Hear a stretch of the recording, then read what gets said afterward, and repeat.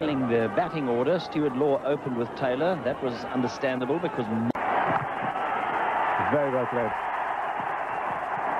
50 to Michael Bevan, absolutely top innings. Applause from his teammates, and rightly so. Not only has he got his side out of trouble, but he's done it at a run a ball virtually. Excellent performance. Just five behind the number of deliveries that he's faced. Outstanding innings. He's also starting to move up to the Australian batting order. Australia now gone fast for Nova. Started off at number six, moved up to number five. Batted at four work and shot. This is well hit. Four runs through mid-wicket.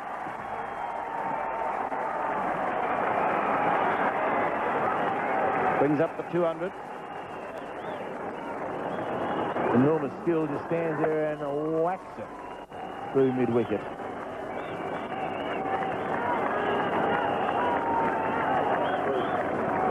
Ian Chappell's Atlanta Braves would have been pleased with a blow like that.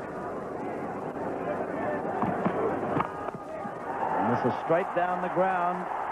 Klusener over pitching, and it's four runs.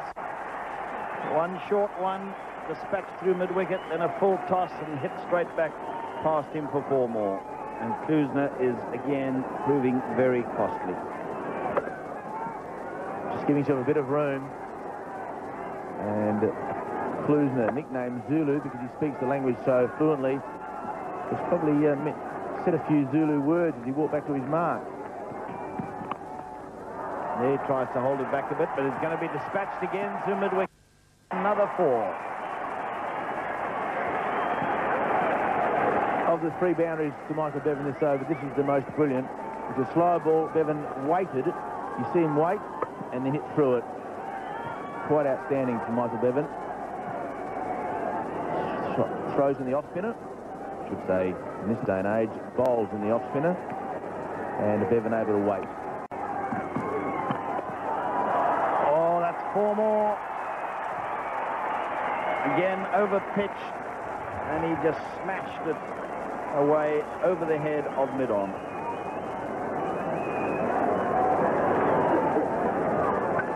Full toss, and a long way over that, the arm there.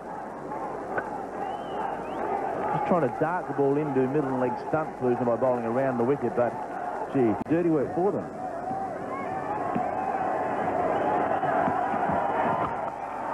Hammer, four runs through mid-wicket.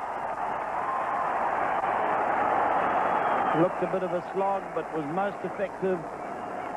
It's slog time anyway, and suddenly this score is taking on quite alarming proportions for the South Africans.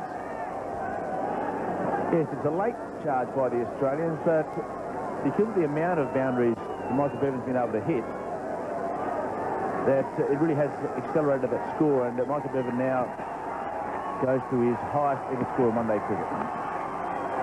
And he's caught this time, moving right inside the line of that and is flicking it round into the hands of Pat Symcox. But what an innings it has been by Michael Bevan.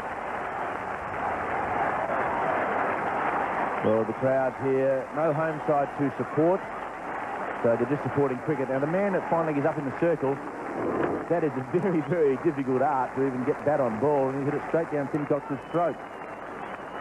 So Michael Bevan uh, raises his bat, 79 from 70 deliveries, Australia 237 for 5.